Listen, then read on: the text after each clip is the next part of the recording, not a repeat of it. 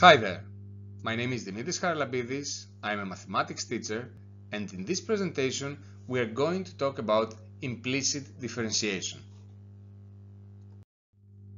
We already know how to find the derivative of a function y equals f of x where y can be defined explicitly in terms of x and this means that we can solve for y. No matter how complicated this relation seems to be, all we have to do in such cases is follow the differentiation rules we have already learned and be careful with the needed operations on whether we need to apply the quotient, the product, the chain rule or something else. What happens though when the two variables x and y are mixed together in a relation that does not allow us to isolate y and therefore solve it for x? How can we differentiate y in terms of x? In this case, we say that y is defined implicitly in terms of x, and in order to find dy over dx, we need to follow a process that is called implicit differentiation.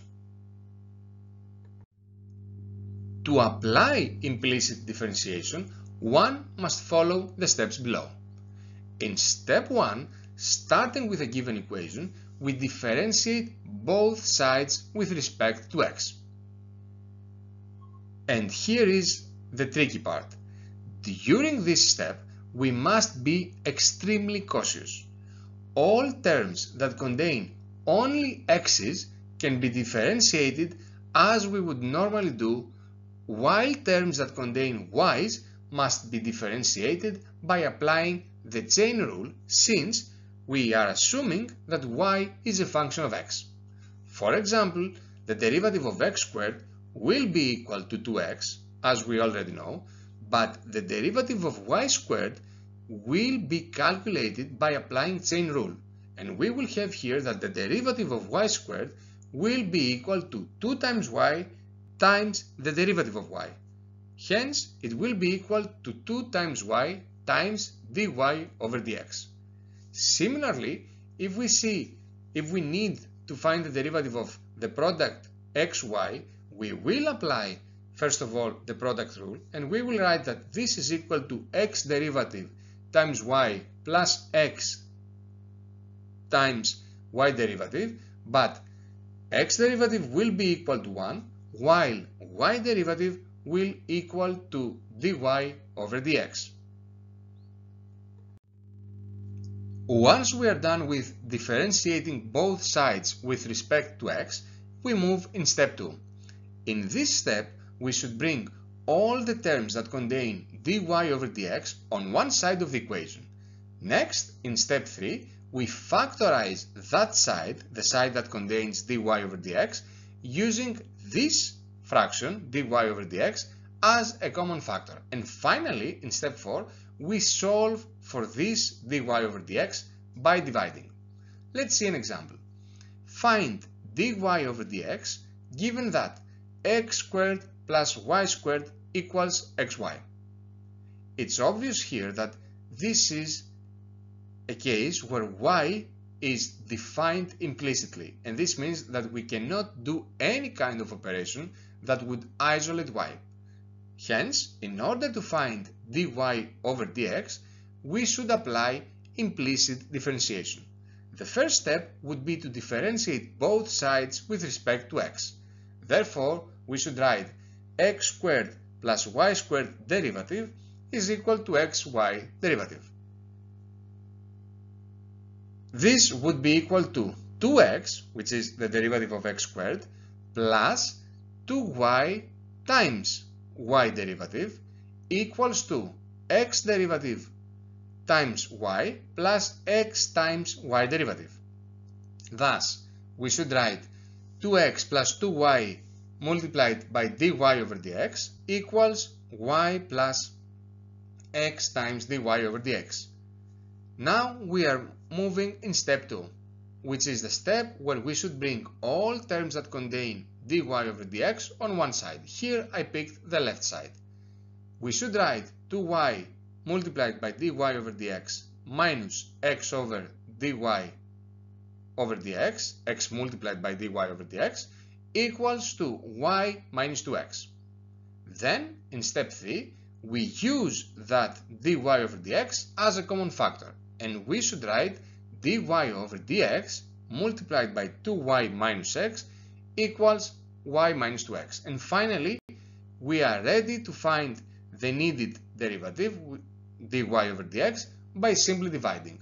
In our case, dy over dx should be equal to y minus 2x over 2y minus x. Let's see now how we can use implicit differentiation to find the equation of a tangent. Find the equation of the tangent to the curve x squared plus xy plus y squared equals 13 at the point 1.3. To begin with, let's remember that the equation of the tangent at a given point x0 can be given by the equation y minus f of x0 equals f prime of x0 multiplied by x minus x0. In my case, this x0 will be equal to 1, f of x0 will be equal to f of 1, which is already given as 3, and I only need to calculate f prime of x0, which in my case is equal to f prime of 1. To find that, we must first find the derivative dy over dx, which will happen under implicit differentiation, and once we are done with that, we should substitute the given points coordinates. We should substitute 1 in place of x and 3 in place of y respectively. Hence, we start working with the implicit differentiation. We begin by differentiating both sides. x squared plus xy plus y squared derivative equals 13 derivative. The derivative of 13, which is the derivative of a constant number, will obviously be equal to 0. The derivative of x squared, since it's a term that only contains x's, it will be equal to 2x.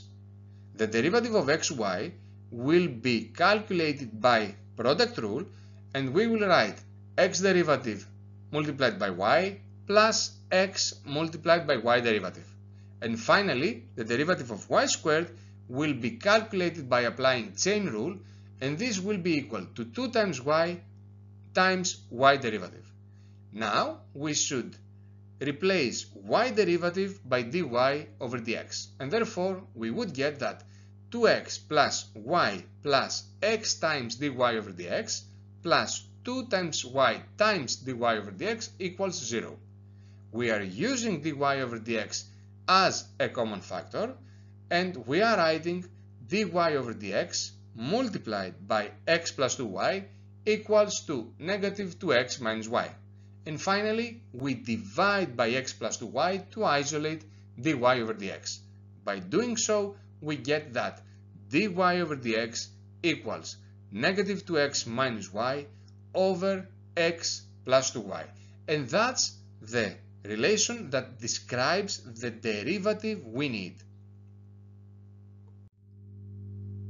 I will now substitute the coordinates of that given point of point 1, comma 3 in this relation to find the value of the derivative I need. Hence, for x equals 1 and y equals 3, we should get that dy over dx, which is equal to negative 2x minus y over x plus 2y, will now become negative 2 times 1 minus 3 over 1 plus 2 times 3, which eventually equals to negative 5 over 7. Finally, I'm now ready to substitute everything I need to calculate the equation I want. This will be y minus 3 equals negative 5 over 7 multiplied by x minus 1, which after some careful operations that you are able to see in front of your screen anyways, and we end up in the equation y equals negative 5 over 7 x plus 26 over 7. And finally, let's see an example where we use implicit differentiation to calculate higher derivatives. Consider the circle described by the relation x squared plus y squared equals 1. Use implicit differentiation to find d squared of y over dx squared. I will begin by applying implicit differentiation to find dy over dx. Like before, I will begin by differentiating both sides with respect to x, and I will get 2x plus 2y multiplied by y derivative equals 0. Hence, 2x plus 2y times dy over dx equals 0. Therefore, 2y multiplied by dy over dx equals negative 2x.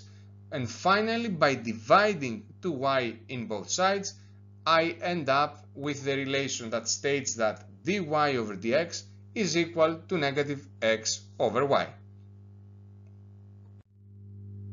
d squared y over dx squared is basically the derivative of dy over dx. Hence, all we need to do is take the relation we found earlier for dy over dx and once again apply implicit differentiation on that. This would mean that I would begin by writing that d squared y over dx squared is equal to the derivative of minus x over y, which is dy over dx I found earlier, and then after carefully applying quotient rule and substituting when needed y derivative by dy over dx, I would end up, as you can see in front of your screens, in the relation minus y squared minus x squared over y cubed. Careful here that, be careful here that when I first met y derivative, I substituted it by dy over dx, which was once again substituted by negative x over y. Eventually, for this case, we end up in the quotient minus y squared minus x squared over x. And that would be all. For any questions you might have regarding the content we just viewed or any possible collaboration, you can always contact me. Don't forget to check my site for more resources on IB and SAT content and subscribe to this channel. As always, thank you for your time.